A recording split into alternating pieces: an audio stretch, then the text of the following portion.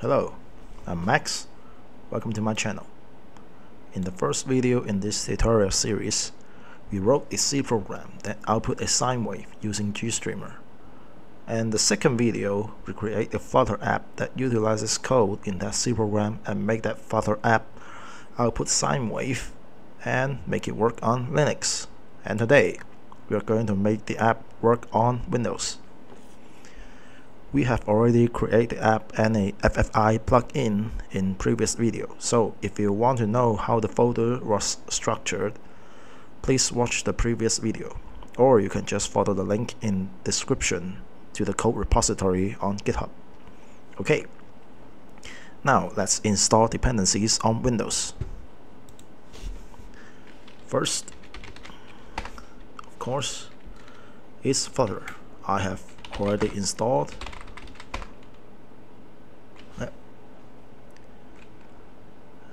Next is Visual Studio. Uh, Visual Studio and under workloads is desktop development with C++.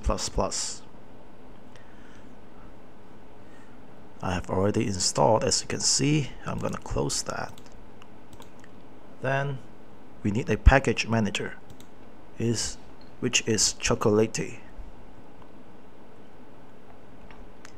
hitting this install you should see scroll down you should see a command here. And we will need PowerShell but run it as administrator.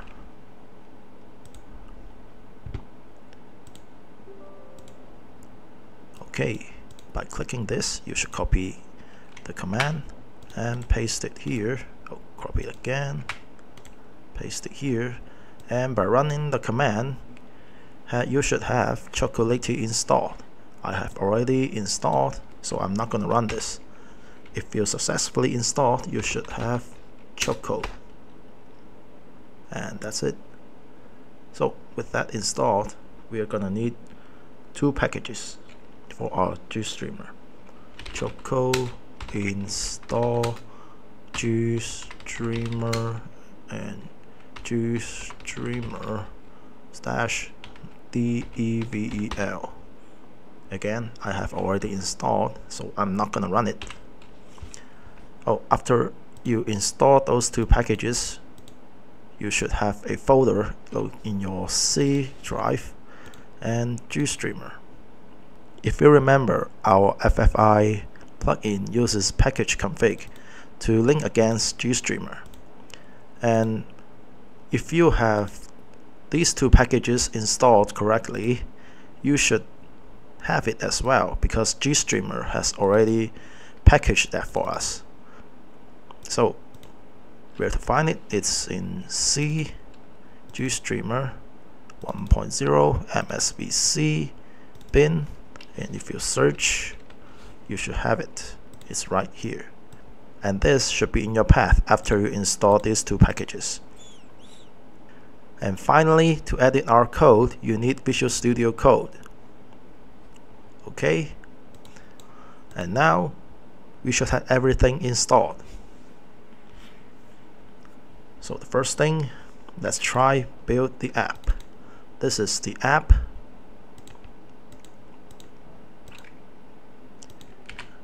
And open a terminal.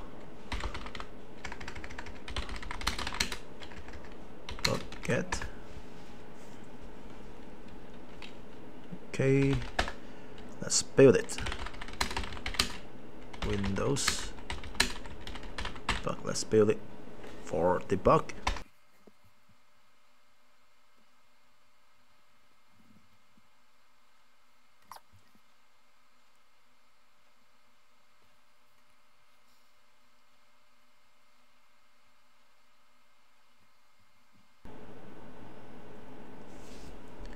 and it failed. Let's see what went wrong. So these red lines mainly complain two things.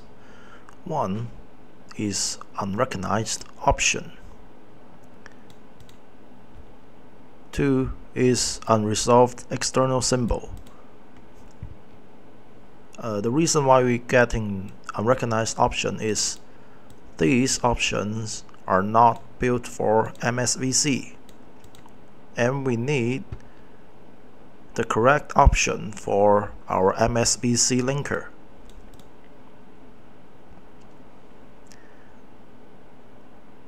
And the unresolved symbol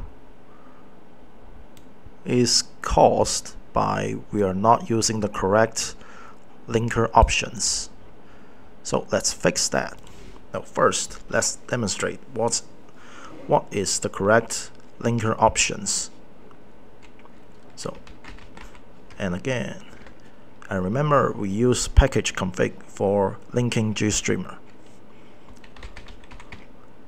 And GStreamer 1.0 libs. Okay, and this is the one we are getting, that's not for MSVC. And package config had an option for that. Let's add dash dash MSVC syntax. And this one should work on MSVC linker. So let's open our native binding CMake file. Let's put our thing, let's put it under here. If it's Windows and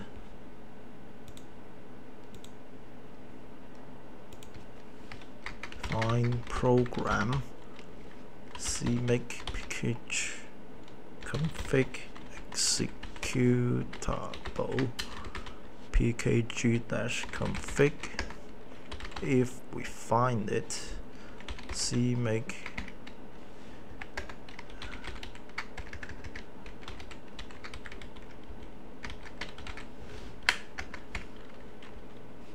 and we will run it within this script exec program.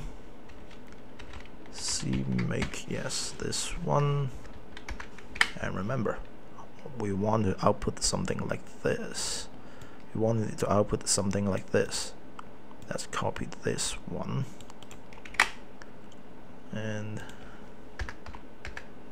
comment it out. Run is something like this. Args. Mm, like so do not confuse ourselves. Let's put it like this. And we want to override this one. And output variable gst ld flags.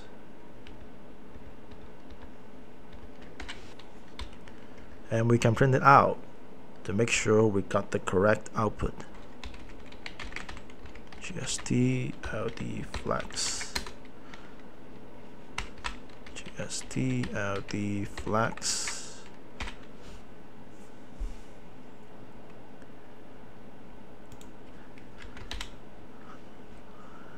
and what we output here is an option and we are not outputting libraries anymore. So we will also need to put it in condition win32 else and if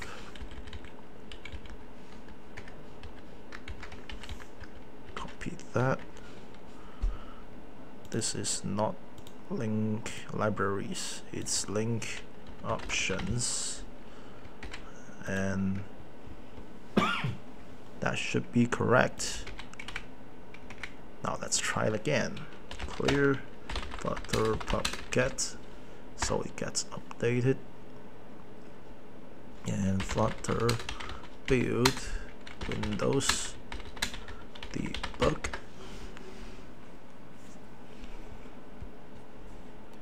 and this is what we get. Outputting should be right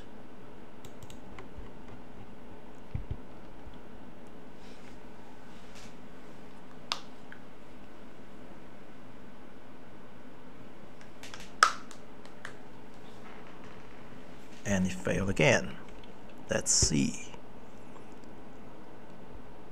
And the unrecognized option was gone.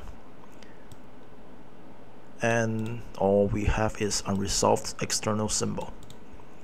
And now if we look at the command that causes this error we can see the line the thing the op the option that we output was here. But it was put under but it was put within a quotation mark. And I assume that makes linker thing the the entire quotation mark was a single object and we don't want that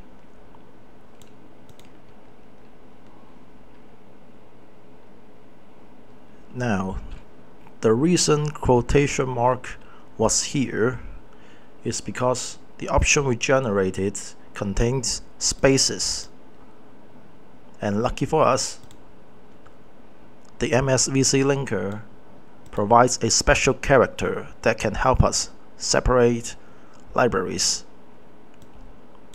And we need to replace space with that special character.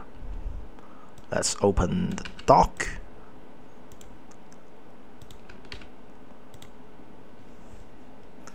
And this is linking. Scroll all the way down in here.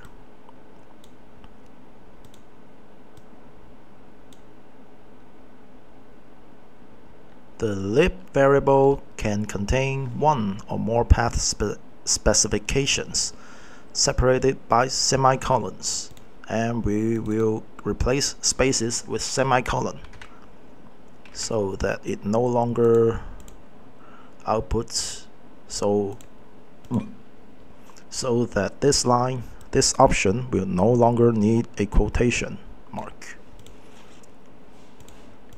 And to do that,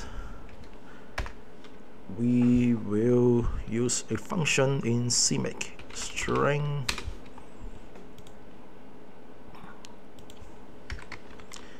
replace space with semicolon. Gst ld flags gst ld flags and that should be it.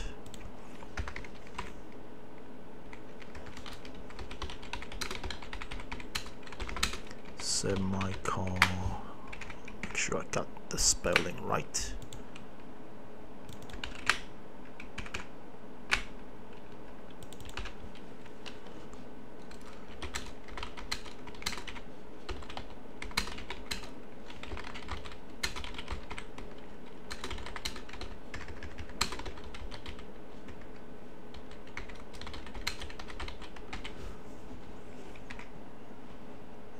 open our map app open our app.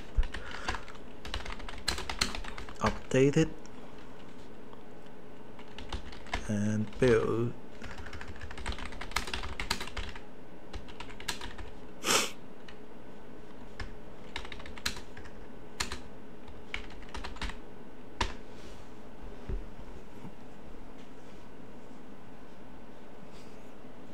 And it outputs as we want it.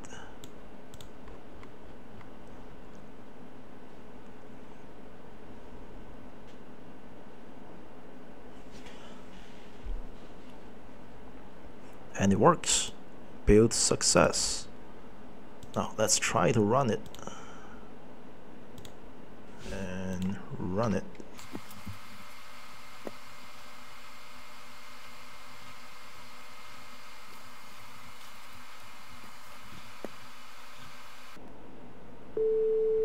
and there's our sine wave.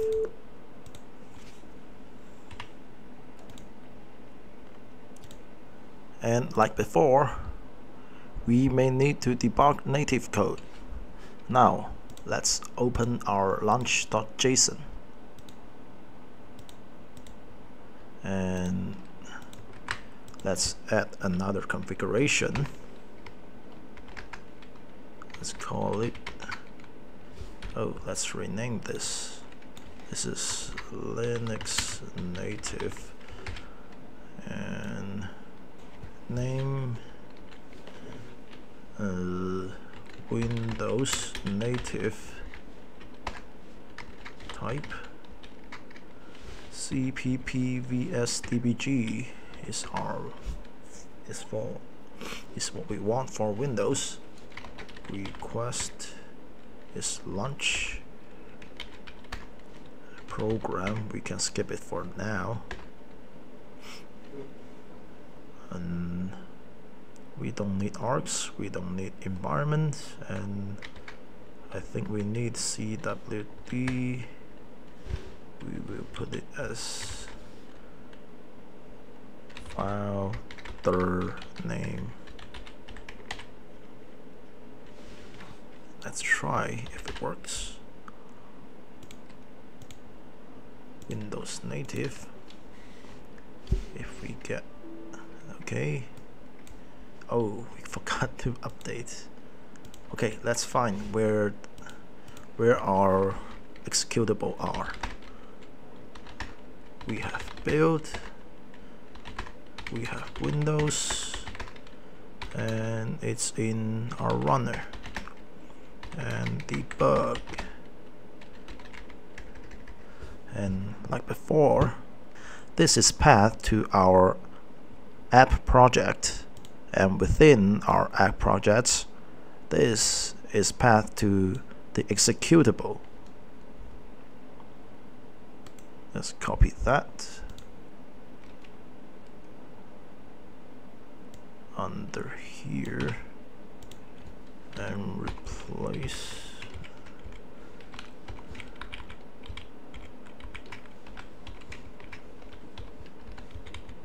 and our executable name will be our project name exe. Fltgst.exe save and run it. Okay it works. It launches. Now let's find our native code. Saying it's in dependencies direct dependencies native binding which is our FFI plugin. Find our C file. Let's add a point breakpoint here same as before and run it. And breakpoint was hit. Let's add our data variable to watch list. And this is all of the pattern address. I assume this is empty for Windows. Okay let's hit next line. It's updated. Next line updated. Next line updated. And so on. And I consider that working. In the sine wave window is popping up and that's it for this video. In the next video I will show you how to make it work on Mac OS see you in the next one